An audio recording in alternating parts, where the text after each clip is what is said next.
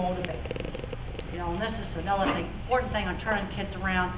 The Reason why I'm late is I was up watching TV, there's some NBC show where it was like school makeover, and they had totally made over the VOAG department. They were trying to decide, do we make over the VOAG department, you know, the wood shop, the auto shop, and the welding shop, or do we build a new gym? And they decided to go with the VOAG department, and I'm really, really happy to, um, see that they did that, because I'll look at that, that's jobs. A lot of kind of kids that kind of, you know, give me really great jobs, uh, working with animals is another really great thing. Just looking at the spinning wheels, uh, tonight, and these are kind of things we need to get, we need to get young people interested in these things.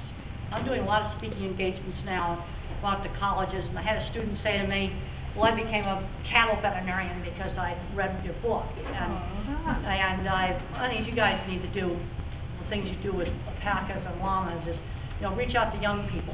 Got a lot of young people today, they don't do hands-on stuff anymore.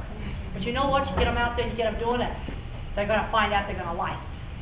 So I think we'll go ahead and get the movie started.